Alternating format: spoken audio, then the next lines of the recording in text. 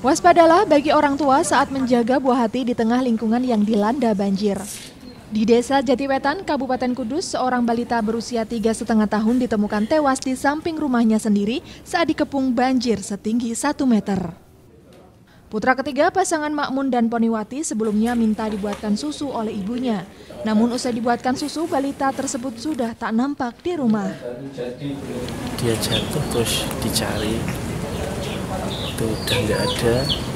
Dan 10 menit sampai 15 menit baru ketemu pintu. Pintu samping. Ya, pintu samping.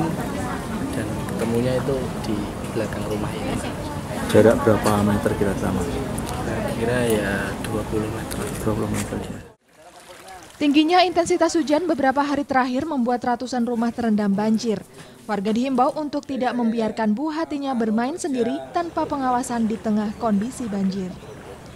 Hendria Gusta melaporkan untuk NET.